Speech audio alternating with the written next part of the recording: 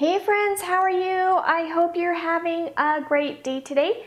Today we will be creating this solar eclipse artwork in celebration and in honor of today, which is August 21st, 2017. I thought it would be fun to put together this short and sweet video on how you can create this artwork. So these are the supplies that you will need for this particular project.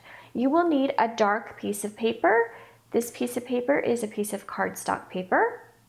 You will need some chalk pastels or you can use sidewalk chalk that will work just as well. So if you don't have this particular type of chalk, that's okay.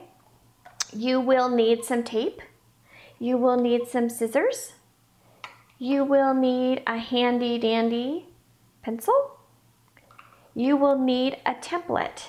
And to create a template, this is a template. To create a template, you will need some sort of a bowl or some lid that you can trace to create your template.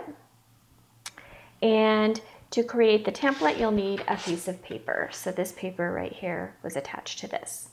So that's basically what you'll need. And let's get started. Alrighty friends, so the first thing that you'll want to do is create a template for your project. And a template simply means a guide for you to trace for your solar eclipse project. So what you'll want to do is find some sort of a bowl or a plate or another piece of paper that is round and, and, that will fit on your piece of paper that you're going to actually do your artwork on. So I chose this bowl because I like the size. I'm going to turn it upside down and I am going to put it at the edge of the paper and I'm just going to trace it just like this and it makes a nice round circle. You could try to create your own circle but as a human being it will be really hard to get a perfect circle. It's up to you. All right, so what I want to do next after I trace my circle, I want to be very careful in cutting around my circle on the line. Do the best that you can, just like this. So I'm going slowly and carefully.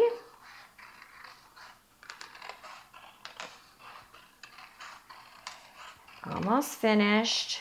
Thank you for being patient with me. Alrighty, put that aside. Now we have our template.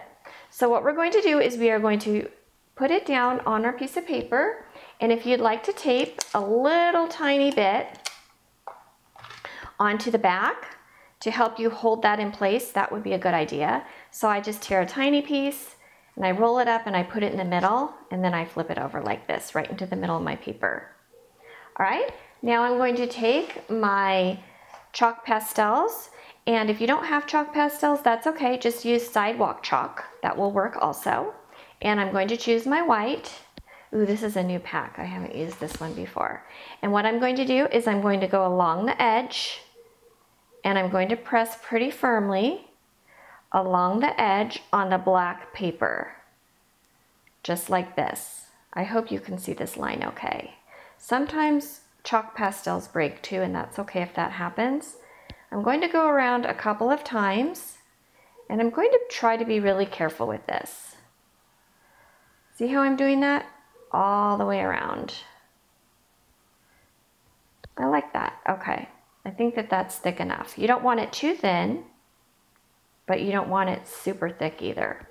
Now all you do is you take your finger and you hold your piece of paper down with the finger that you're not going to use to spread your chalk. And if you don't hold it down, sometimes this could slip around and then it'll, your artwork will not, not turn out like a solar eclipse. So hold that down and take your finger and just pull out like that. See how cool that is? Just pull out. So go along your line and pull out.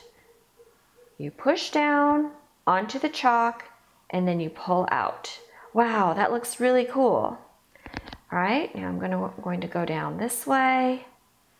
I'll go a little bit faster, but you can go slowly if you'd like. Keep in mind, I'm holding this down. I do have a little piece of tape down there. However, sometimes it still slips.